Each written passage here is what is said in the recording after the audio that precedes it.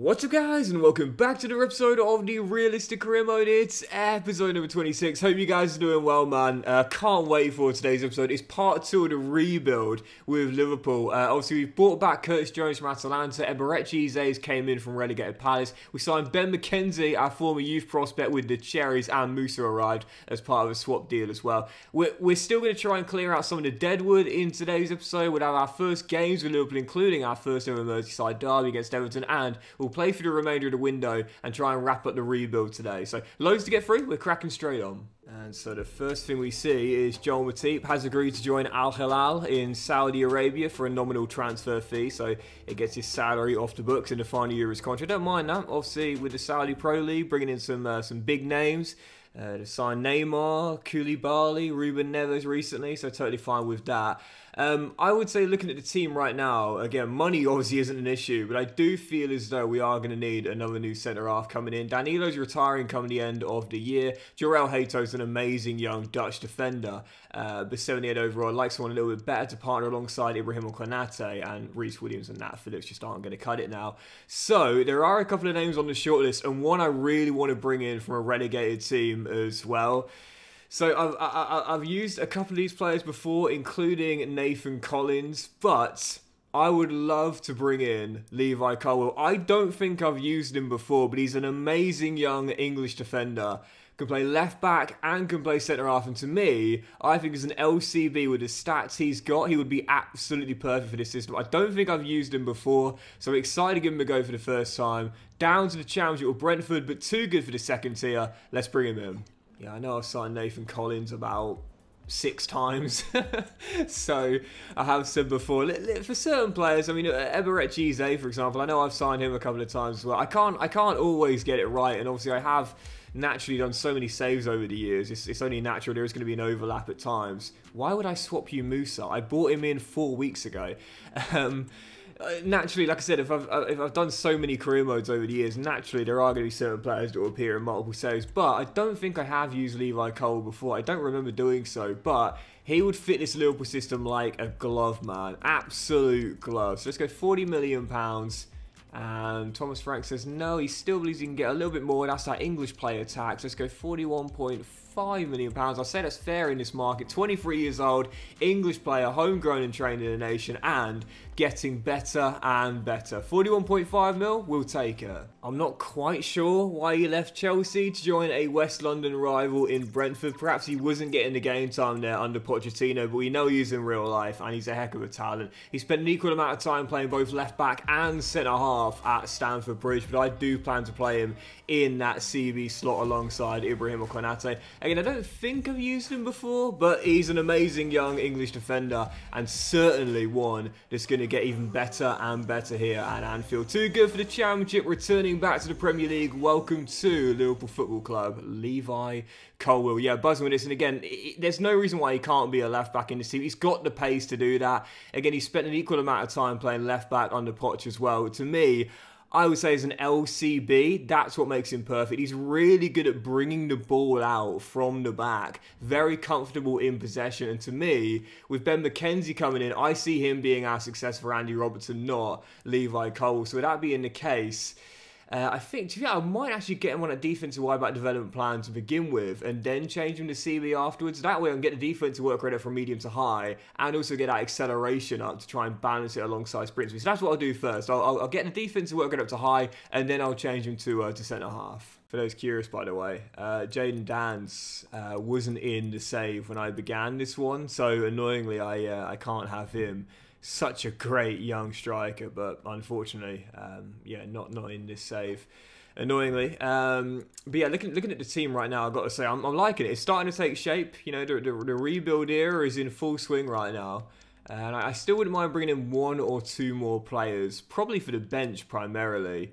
Um, but for the most part, I'm liking it. Still, still a couple of players I'd like to sell, just get their salaries off the books, such as Jaros, a third choice goalkeeper, and possibly Nat Phillips at 29 now as well. Um, but yeah, for the most part, I'm liking him. I'm liking it. I'm, I'm ready for our first game, to be honest. Oof. But uh, before we get there, uh, Chelsea want to bring in one of my favourite players in uh, in FC, which is Conrad Laimer. The uh, the Austrian holding mid that's very very versatile. I was I was looking forward to giving him a go personally, but moving on from uh, from RB Leipzig to Bayern Munich to Liverpool and now possibly to Chelsea. They're the champions. They're playing CL football. He's more than good enough for that. I don't really think I can stand in his way personally, so I'm, I'm happy to negotiate with Poch. That's a shame. I, I really like him. Very versatile, good defensive player.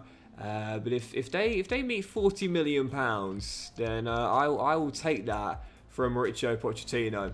40 mil for Conrad Laimer and uh, a chance to go back and play Champions League football, play for now the English champions. Yeah, I, I can't stand in his way there. Still, we'll keep him in the squad for the first game against Everton, where Lukaku has just joined Bournemouth. How about that? Uh, we've been asked to win the domestic double this season, so yeah, no European football to worry about. That is a bonus, but that's still going to be a heck of a tough ask. If we're going to do that, we need to start off with a win. Our first game, a Merseyside derby away at Goodison. Talk about being thrown into the deep end. First game, come on Liverpool. You might notice there in the top left that the uh, the scoreboard has, uh, has changed. The graphic overlay, I like that. I like that a lot. And hopefully it means that we'll, uh, we'll see the Salah, yes, come on, drills in the first goal in the Liverpool era. And it's the it's the vet who's been here for a while that gives us our first goal with the Reds. I'm hoping that means that the, uh, the, the graphic animation has changed for the second half, where it says end second half. Hopefully now it will say start of second half. But even so, Salah uh, starting our era with Liverpool off with the opener, and we take the lead at Goodison. It's crazy, man. All, all the change in what's been just over three years with this Liverpool team, but it's still Mo Salah's side. Opening the scoring, 1-0 Liverpool. I'm not even sure if it's up for debate, but I think Mo Salah is Liverpool's most loved player since the great Steven Gerrard. Has, oh, what a... Oh, no, it's off the bar, but the rebound is turned in. Um, for, for all the things he's done for the Reds, over 200 goals for the club since coming in seven years ago. Uh, for all the things he's won with them, what a goal this would have been, by the way. In the end, it's a lovely pass off the uh, crossbar for the finish by Enciso. But um, yeah, I, I think the Salah to me, like he, he, possibly could have left Liverpool when he was at his absolute peak, forced to move for if he wanted to, didn't, stayed loyal. Um, and that's why I think we should stay loyal to him as well. I know he's out of contract coming the end of the season. I know we're going for a rebuild, but we've talked about those veterans here. We want to keep and help mentor the young lads. Mo Salah, one of the best we could have. So I think he, like Diaz and Alisson, will be staying as well. One wanted to break though, and is someone going to find a winner here? Oh, what a ball, Kluivert. Oh, Carlos Soler with the finish, and we've. Uh, We've gone behind from a leading position. Well, this is a rebuild. It is going to take some time to get this Liverpool team to where we want to get them to. But this is going to be a stinging opening day defeat. From a goal up to a goal down, it's the Spaniard to give Everton their first lead of the game. All right, this is uh, this is something where you can't panic, but it certainly is a little worrying. As Konate does brilliantly there. And if you okay, here we go, here we go, here we go. Sorry guys, give me a sec, give me a sec, give me a sec. Might not have the blistering pace that he wants to, but he's got enough. Rolls it across. And Curtis Jones on his second debut levels it. What a thriller of a Merseyside derby. Come on, don't don't trail again. Don't trail again. Oh, once again, it's a brilliant through ball all game long, Everton have been splitting open my defence with through balls, and I've just not had an answer for it. It's a brace for Enciso. And once again, the Toffees are in front. All, all game long, they've found space in my back four to thread the needle. And it's 3-2. Well, I mean, we've, we've in Musa, we've brought in the young lad McKenzie, we've just brought in Levi Colwill, but after shipping three on the opening day, I think it's safe to say we might need yet another defender, because this has just not been working. But the through balls in this game for both teams have been unbelievable. Cody Gakpo makes it 3-3. What a Merseyside derby this has been, man. What a thrilling game to start off with. Surely not. Surely not. Surely not. Oh my goodness, what is going on today? Through ball after through ball. Is this what's coming with the new patch? Like, just constantly getting exploited by free balls because every single goal has been not necessarily a carbon copy, but it's been it's came through the same way. There's a fan on the pitch there. It's how's he how's he wearing a steward? What's going on? Every single goal has been scored via a free ball. This is unbelievable. 4-3, Everton have won it. Well, this is uh,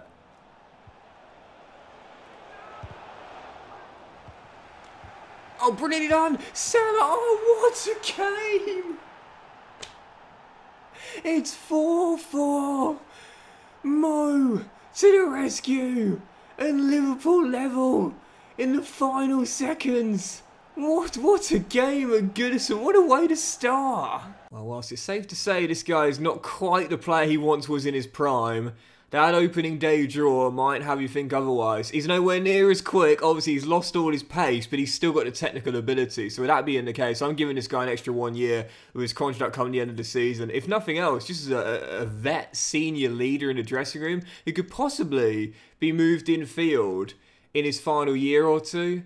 But yeah, he's still got the technical ability, if not the pace anymore. I'm giving him an extra one year. Would he take a pay cut as well? Because I'd love to see that. No, he wants a pay increase. That's annoying.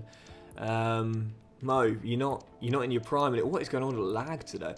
You're not in uh, you're not in your prime anymore, bro. Like I'm, I'm I'm sorry, but it happens to all of us. Happens to every one of us, mate. Oh come on. All right, fine. 130 grand a week. 130 grand a week, and that opening day draw showed you he can still bail Liverpool out when required. Mo is staying. Is Robertson out of contract yet? No, he's not. Alisson is though. Alisson is. I, to be fair, Alisson's not getting any worse yet because goalkeepers don't tend to go down until their mid 30s. He's 33, so I might give Alisson extra one year as well. But uh, I, I, I, guess we'll see. I guess we'll see. We, we do need to sell a couple of these players here, though. Like a couple of players who just don't have the ability anymore. I think, how old is Rhys Williams now? 20, 25. He can probably go. Same with Nat Phillips as well.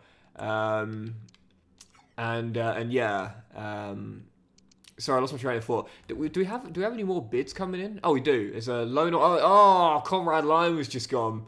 Conrad, okay, there we go. Line was off to Chelsea, forty million pounds, and uh, couldn't couldn't stand in his way there as he goes to the champions. So we definitely need a new CDM now. And just looking down the list of players here, obviously we used Hjulmand in the Swansea save. Can't really get Nunes at Manchester City Champions League side. This guy is is one of my all-time favourite players in this year's FC, but we have used him before as well. Um, I, you know, I, I wouldn't be against bringing in Boubacar Kamara because Aston Villa, they're, they're not a European side. They haven't been since the save began. He's 26 years old in the prime of his career, and I, I have to say, if he was if he was going to move, he would go to a European side. But no one's put the bids in yet. You know, we finished. Oh, I say we. Liverpool finished above Aston Villa last season. Villa haven't been a European side since they began. I I, I would quite like to give Boubacar Kamara a go. I haven't used him in Issues FC, and I think he'd be the perfect replacement for Conrad as well. Yep, last year Aston Villa's finished in 12th, so not a great season for them. They've not been a European team since the save began, and Camera would fit this Liverpool team perfectly as well. Excellent stamina, great composure, and really comfortable on the ball, as well as being a tough tackling DM that can also fit in at CB as well. I, I think Aston Villa still not being a European side, can't get back into the European places, and Boubacar possibly jumping ship to a team that finished above them last season and have ambitions of being back in the big time. I think this move makes perfect sense for all parties. Let's bring him in. Do you fancy Rhys Williams, Unai? I doubt it, but uh, I might as well offer it, right? We'll put in a valuation bid plus uh, one of our fringe centre halves, and they say, nope. They want a lot of money. Well, if we're going to get him, we've got to pay a pretty penny and then some. Unsurprisingly, though, you know, yes, Aston Villa haven't been a European side in a save since uh, season one, but they don't need to sell. He is one of their best players as well and one of the best in his role right now in the Premier League. So 57.5, no, seems I'd have to spend. Let's go a meet in the middle around 60 million. It's a lot, but with inflation, I'd say it's probably fair in this market. Unai still says no. Alright, fine. 62.5 mil. 62.5 mil for Boubacar. There we go. It's a lot of money, but he's the perfect player for this Liverpool system. 62.5 mil, and he's on his way to Anfield. In the first season of the save, Aston Villa were playing Europa Conference League football, but since then have failed to maintain European football of any kind whatsoever, finishing 12th in the table last year. Boubacar Kamara knowing 26 years old, if he's going to make the jump up to the next step, he needs to play for a club with grand ambitions. Possibly playing Champions League football next year, but at least targeting European football of some kind, making a move from Villa Park to Anfield on a five-year, 110 grand a week contract. I am buzzing with this. Welcome to Liverpool Football Club. Boubacar Kamara. He got a red card on the opening day. How about that? A red card on the opening day. Not a great way to bow out from Villa Park there after all the years he spent under Unai Emery, but I think this is a perfect signing for us, no doubt about that. Neither team playing European football, but I'd say we've got the better chance of doing it for next season. Kamara is in as our new anchorman in our midfield trio. His stats are absolutely perfect for the way we want to play as well. Ball retention, good DLP, good play that sits back, objects the back line as well. This is a great signing and a perfect replacement for Conrad Laimer. And as we just negotiated a loan offer there for Jaros, that's our third choice goalkeeper, loan to Bayer Copenhagen. Not sure if we'll go for or not. Loan to buy deals don't normally work for me. But uh, Getafe want Ben Doak, of course, going to turn this one down. Um, through the Celtic Academy, because he was signed so young, uh, it does mean that he can become technically homegrown and trained after three consecutive years. So I think now he would have it, I believe, I think but uh, when he hits 21. But there we go. Uh, Jaros is going to go out on loan, so when that deal goes through, fingers crossed permanently come the end of the season, that'll be another player sad of look. So gradually, we're starting to clear out a little bit of the deadwood here and just start to build a Liverpool team that we want. It's taken, it's taken its time, but these things do take time. And interestingly enough, Sporting Lisbon have put a bid in for Nat Phillips. Now, personally, I'd prefer to keep him in the Football League, but he did spend a year out on loan in Germany. I can't remember who he played for.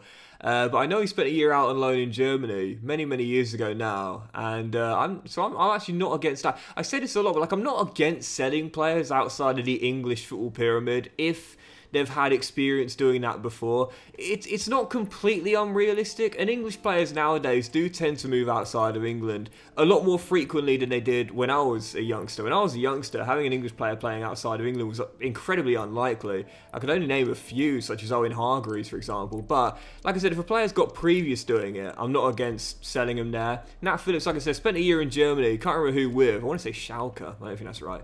But uh, still, four and three quarter mil, and uh, he's now going to Sporting Lisbon. Right, following game in our first at Anfield as we welcome Newcastle United looking for our first win as Liverpool manager. Can't give Kamara his debut, but I will give the young lad Ben McKenzie his at right back heading into this game. Aiming to defend a lot better, that's for sure, after chipping four on the opening day, going for our first win with our new team. Come on, Liverpool. So a reminder, the board have said they want us to win a domestic double this season. That's not my objective, though. I think that's a bit too much for our first season in a rebuild year. Oh, great claim, Alisson there for a crowd of bodies. I, I just want to get us back in Europe, man. It doesn't need to be Champions League. Champions League is the, the, the, the, dream, if you will, the top four. But even if it's Europa League, even if it's Conference League, just getting European football of any kind back in Anfield for next season, that is the aim in our rebuild era. Great work from Luis Diaz. There's Andy Robertson, the Scot. I see you, Cody. It's your drop to... Oh, no, Curtis Jones. What was Salah for a second? Curtis Jones denied as it's still nil-nil. Yep, don't need to win the title. That's not my aim. I'm not even thinking about it. I just need to get this Liverpool side back playing European football. Where you going? Where you going? Yep, Robertson, well in. Back to the young lad, Ben McKenzie. So as left back, we've got to start him right back in this game. Three-star weak foot. Yeah, I think he could fill in there. I'd rather him on the other side, but still, for now, this is where we've got to play him. Diaz to Eze. I see Robertson. Really well worked.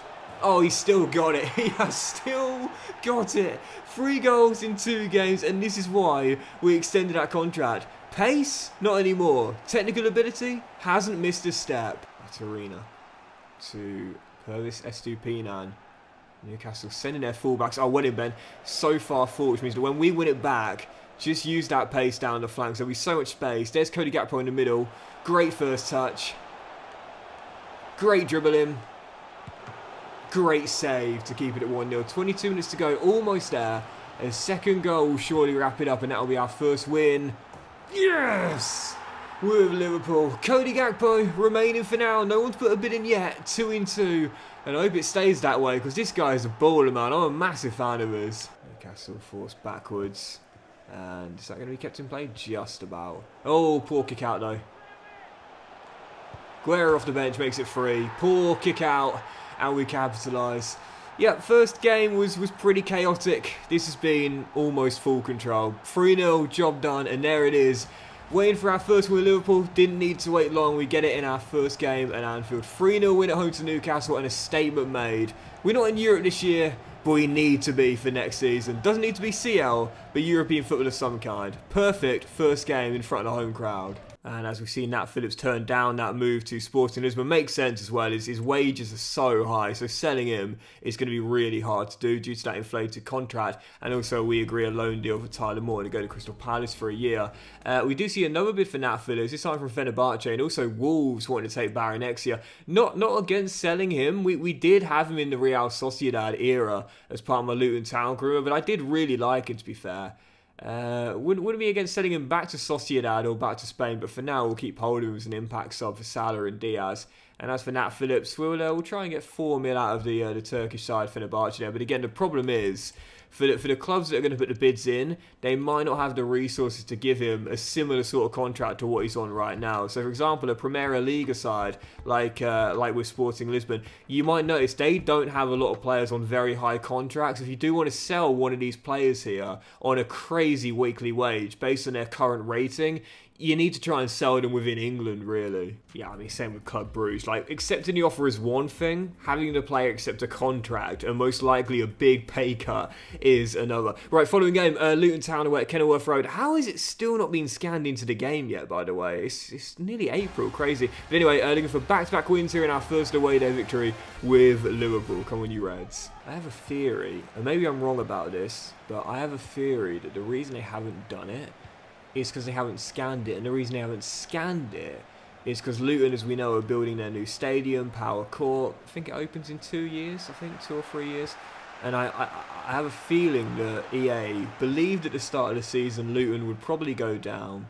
And with that being the case, they can afford not to scan in Kenilworth Road and wait until the new Power Court is, you know, built, played at, and if Luton get back in the Premier League, then scan it in for them. I think that's my theory. It, it's it's it's it's it's a interesting one because it, it does kind of make sense. But I don't know, man. The EA have made this kind of thing over the years that they'll scan in all the Premier League stadiums. So, so to not do Kenilworth Road, even if they're only playing it for a couple of years, would be uh, would have been of a shame, really A couple more years, I should say. Even so, Cody Gakpo, that's three and three, man. He's on fire to start the season off. I've always thought from EA, it's a real missed trick to uh, to not have old stadiums within the game. Possibly as DLC, possibly as unlockable content, I don't know. But not have, you know, old, old stadiums in the game that are no longer in use. You know, it's, oh, great work from Ben McKenzie. Yes, well in, youngster. He gets his first assist for Liverpool, and Cody Gakpo is just on fire. Do you know what I mean? Like, if you could have, like, you know, Highbury, for example, or White Hart Lane, or Upton Park within the game, it's again maybe DLC, maybe unlockable content, or maybe just available right from the get-go. I think that's a real missed opportunity because it would, it would, you know, put it this way, I would love to have that. I would, I would love to have the opportunity to uh, to play at those old grounds, man. And Kenilworth Road could be the same. Granted, in two or three years, Luton will be at a new stadium in Power Court, but it's such an old school ground. It's so unique, built in uh, to uh, to terraced housing. So have it in the game. Yeah, I think it, I think it'd be a great addition if only Luton's main stadium or Luton's played stadium for the next couple of years. Why not? No negatives for having more choice, right? And there we go, back-to-back -back clean sheets and back-to-back -back wins. Shipping four on the opening day at Everton was a little embarrassing. Let's just say we've learned from that mistake.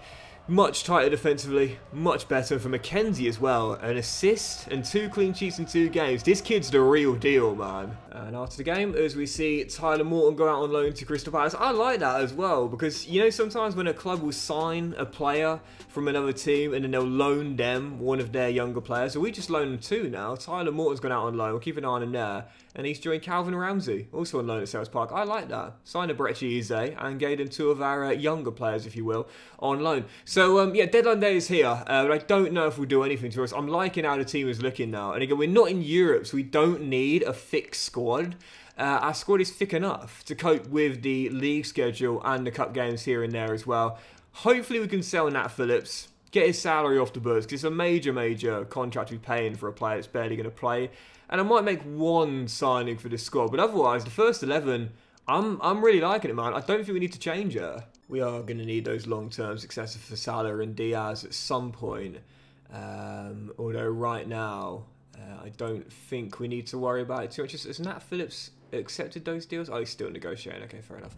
Now there is a bit interesting enough for uh, for Javi Guerra, and uh, I do I, I do quite like him. Young Spanish midfielder coming in from Valencia, I believe. But Las Palmas want to take him back to Spain.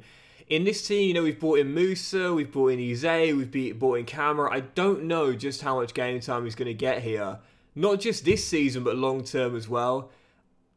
I like him a lot, but I wouldn't be against selling him. If we can get around 38 million pounds, I I would probably accept it. He's a decent young midfielder. I'm not sure what his ceiling is. I think he'd still be getting a little bit better, but the problem is there's so many options ahead of him. It's kind of like with Bournemouth when we had like Kluivert and Sinisterra. These are really good players, but the problem is there's just so many players in that position where they play.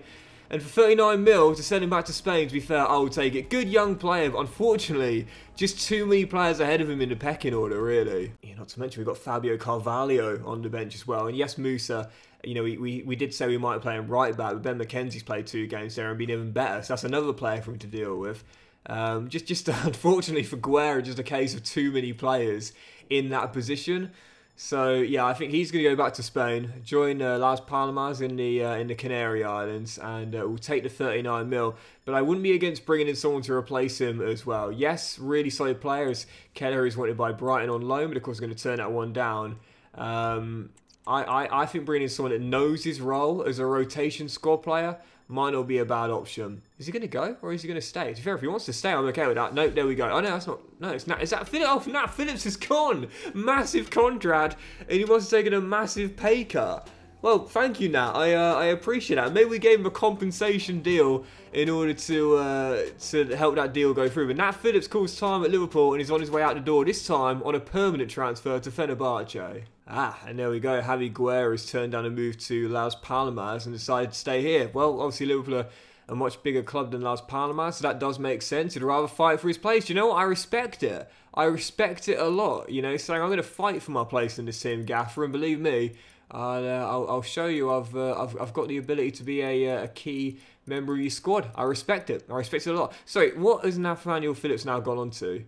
Wow, uh, do you know I respect that a lot. I respect that a lot as well. Taking over half a pay cut to, to go and play first team football at Fenerbahce in the Super League. I, I respect that a lot as well. The, the respect given out here. Proof right there. It's not all about the money. It's not all about the money. Respect that a lot. So with Phillips gone, do we do we need another centre half? I mean, Danilo's going to be staying till the end of the season, retiring at the end of the year. Rhys Williams is just, I mean, he's just not going to cut it. I, I wouldn't mind an extra centre half coming in, just just for the squad, really, and a youngster that we can continue to develop alongside Jorrel Hato and Levi Colwill. And to be fair, there, there is another Liverpool player that's left who I wouldn't mind bringing back. He's gone to Napoli, but he's not getting much first team football there, and he's out of contract coming the end of the season. Jarell Quansah, uh, 23 years old, six foot three very physical with 90 jumping and 87 strength as well. And at Napoli, he's like fourth slash fifth choice there as well. Out of contract coming the end of the season, future uncertain. Um, I'm going to bring him back. Yep, should be able to get him for under the market valuation with his deal at come the end of the year. Left to Napoli, hoping to... No, absolutely not. Hoping to make his mark in the Serie A, but uh, it just never really happened for him there, it seems, as they're not playing him much, and he's out of contract coming the end of the season as well. Should be able to get him for 10, let's say 10 and a quarter mil to bring him back to Anfield where he came through the academy and he is indeed going to put a Curtis Jones and return from the Serie A back to Liverpool and come back to Anfield. So once you've agreed a transfer fee with a club for a player you want to bring in, you can check their squad roll directly afterwards. And in Quansah's case, as you can see, it is indeed sporadic. And whilst that's the same squad roll you have here at Anfield as well, you'll probably get a little bit more game time in the rebuild era. And I'm buzzing to bring him back as a homegrown player. Through the academy, really great young player, very comfortable on the ball, can press high up the pitch. He's perfect for Jurgen Klopp, and he's perfect for me as well. Back on a four-year contract, welcome back home to Anfield. Jorel Quansah, or Jarell Quansah, I should say. But yeah, 23 years old, so still still getting better. 77 rating again. I love the stats here. 87 sprint speed, so again, you can play in that high line and recover and track back. 90 jumping at 6 foot 3 means he won't lose many aerial duels, and he's got 87 strength as well. This guy is perfect for Klopp, and he's perfect for me as well. Jorel, welcome back to Anfield. Buzzing with his signing here especially because again, don't forget Danilo is going down at 35 years old and he's retiring come the end of the season. So yeah, in about a month or two, these two ratings will be switched around. I would say means he can compete with Jorrel Hato. He's also right-footed, whereas Hato and Colwill are both left-footed. So that that to me is a brilliant signing for us there. And uh, I still can't believe Rhys Williams is here at 25 years old. But uh, yeah, you know, I'm happy with how the squad's looking, man. We're overloaded at left back. But otherwise, I'm quite happy. We could possibly sign a new third choice striker, but I don't think we need to because really, our, our, our main man at spearheads is more of a false nine at times as a CF to play players in. I, you know, I, I was possibly thinking, I was possibly thinking we could maybe bring in Dominic Solanke. Maybe, just maybe, return to Anfield after the couple of years he spent here. But not this year. Maybe next year, but right now the Cherries still in Europe. I don't, and he's just been given a new contract there. I think I'd I'd say no. I'd say not not for this year. Maybe next year, but not this year. Yep, that'll do it for the window as it comes to a close. Is it seven new signings? I think it is seven new signings. You see the top deals here. Wow, Ruben Dias going to Newcastle. That is interesting to say the least. 86.5 mil. Uh, Aston Villa has spent the Kamara money on Lois Openda going from RB Leipzig to Villa Park, 77.3 mil. And Oroz has joined Nottingham Forest from Osasuna, 56.5 mil. But I'm, I'm happy with how the squad's looking, man. I'm happy with how it's looking again. Because of all the money we have, we, we could literally have signed any player we want but we're not even in a European competition of any kind, let alone the Champions League. So signing the likes of Mbappe, for example, wouldn't wouldn't have felt right to me. But bringing in someone like a Eze from relegated Palace, Curtis Jones coming back, Musah wasn't getting the game time at the San Siro, Levi Colwill from relegated Brentford. Th these are the sort of options that I'd say for where we are right now with Liverpool, a massive football club, but right now not at their peak, is uh, is probably, in my opinion, quite realistically done. I'm happy with this. I'm happy with it a lot. So there we go. Uh, window comes to a close, and uh, should we try and squeeze in one more game today? One more game. Ask Aston Villa at home. We've got Stoke in the EFL Cup, by the way. But Aston at home, let's, let's, let's do one more and end on that. Yep, seven new signings. If you count the Musah part exchange deal with AC Milan, I'm liking it, man. I'm liking how the team is looking. It's the groundwork in our first year with Liverpool being laid, but got to keep performing on the pitch. Let's close out with one more game today. Aston Villa at home and try and make it three wins in a row. Come on, you Reds. Let's put over the top there. And, oh, what a touch. Emi Buendia. He's got such great technical ability, Buendia, man, honestly as we're still tied at nil-nil in a very poor game thus far, but it's Cody Gakpo, who just won player of the month, tries to get away from David Alaba. He's got the pace, and Martinez denies him. As Salah lifts it. Oh, is it going to go in? Oh! Onto the roof of the net.